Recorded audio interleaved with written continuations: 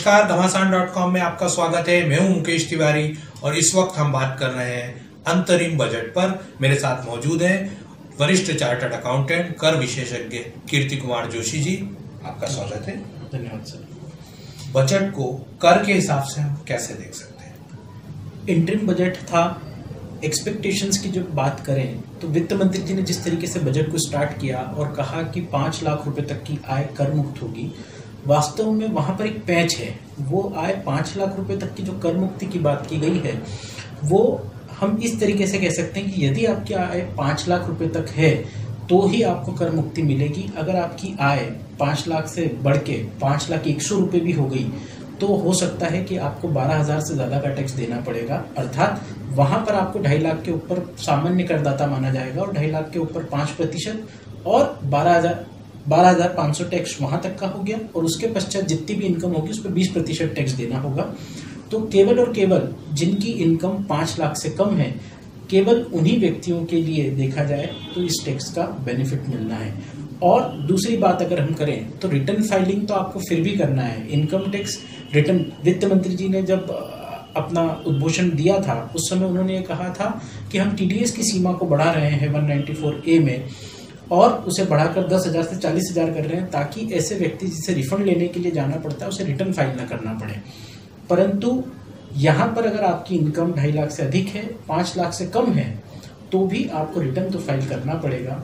इसके लिए कहीं कोई प्रावधान नहीं किए गए कि आपको रिटर्न फ़ाइल करने की आवश्यकता नहीं है। हाँ कुछ एक एग्जिबिशंस और अच्छे दिए गए। जैसे कैपिटल गेन के केस में यह कहा गया कि अगर आपका किसी संपत्ति को बेचने से कोई पूंजीगत लाभ होता है और दो करोड़ तक का पूंजीगत लाभ है। तो वहाँ पर आपके पास एक सुविधा है कि आप दो मकान खरीद सकते हैं। पहले केवल आप एक मकान खरीद सकते थे, पर आप यहाँ पर दो मकान खरीद सकते हैं। बहुत सी बार ये सामान्य समस्या रहती है एक करदाता के साथ कि वो चाहता है कि उसके माता पिता के लिए या उसके परिवार के भाइयों के लिए उसके पास एक अतिरिक्त मकान हो और वो इस रिस्ट्रिक्शन के कारण दूसरा मकान नहीं ले पाता था। ये एक छूट अच्छी है।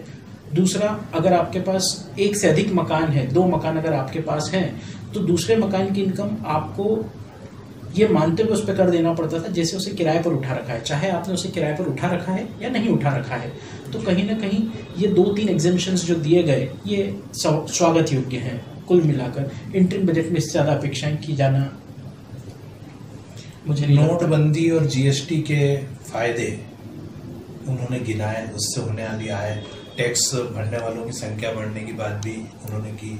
तो वाकई नोटबंदी और जीएसटी फ़ायदे का मामला है। निश्चित रूप से जीएसटी की अगर हम बात करें तो मंथली टैक्स कलेक्शन जो है, उन्होंने ये भी कहा था कि नाइन्टी थाउज़ेंड करोड़ रुपीस जो है, वो मंथली टैक्स कलेक्शन का फिगर अभी तक आ रहा है एवरेज मंथली और जनवरी में उससे ऊपर जाने की संभावना है।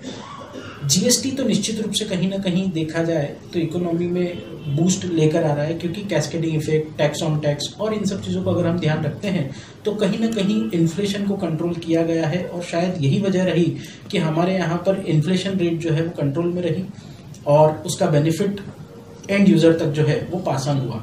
नोटबंदी की जहाँ तक बात करें हम तो नोटबंदी के असेसमेंट अब आना स्टार्ट हुए हैं और काफ़ी लोगों ने उस समय, जिन लोगों ने बैंक में पैसा डिपॉजिट किया, उन्होंने उस समय इनकम टैक्स रिटर्न भरे और अगर हम इंदौर की बात करें तो हमारे शहर में आयकर विभाग का एक उपलब्धि ये मानी जाएगी कि सर्वाधिक टैक्स पेयर जो बढ़े, वो इंदौर शहर में बढ़े, पूरे हिंदुस्तान में। तो इंदौर शहर वहाँ पर भी सफ़ाई में जिस तरीके से अव्वल है, उसी तरीके से टैक्स पेयर्स बेस बढ़ाने में भी इंदौर शहर का स्थान प्रथम रहा। तो निश्चित रूप से जीएसटी से और नोटबंदी से जो है, वो इनकम टैक्स का टैक्स बेस बढ़ा है। किसानों और गैर संगठित क्षेत्र के मजदूरों के लिए भी वित्त मंत्री ने कई बड़ी घोषणाएँ की है। जी। तो उसको किस रूप में किसानों के लिए जहाँ तक सोचा जा रहा था कि दिया जाएगा तो वैसा उन्होंने किया भी। दो हेक्टेयर तक की अगर किसी किसान के पास ज़मीन है फार्मर के पास तो वित्त मंत्री जी ने आश्वासन दिया है कि छः हज़ार रुपया जो है वो उन्हें डायरेक्ट उनके अकाउंट में ट्रांसफ़र किया जाएगा। और असंगठित या संगठित क्षेत्र के श्रमिकों की अगर हम बात करें तो उनके लिए मंथली पेंशन स्कीम की घोषणा की गई। आने वाला समय बताएगा कि ये कितनी सक्सेस हो पाती हैं। और किस तरीके से इसकी रूपरेखा बनती है, क्योंकि आज उन्होंने कहा कि हम देंगे उसे दिसंबर 2018 से फ़र्स्ट दिसंबर 2018 से, लेकिन उसके लिए कुछ बेसिक अभी प्रिपरेशन गवर्नमेंट की करना बाकी है। उन सभी अकाउंट्स होल्डर उनके अकाउंट्स की डिटेल्स होना, उनकी लैंड के रिकॉर्ड्स होना तो ये सारी चीज़ें गवर्नमेंट को मेरे ख्याल से एकत्रित करने में टाइम लगेगा। एक विशेषज्ञ के नाते आप इस बजट को कैसा देखते हैं? एक शब्द में अगर कहें तो ये बजट कैसा है? चुनाव के लिए लोग लुभावन बजट है। और वित्त मंत्री को हम कितने नंबर दे सकते हैं दस में से अगर देना चाहें?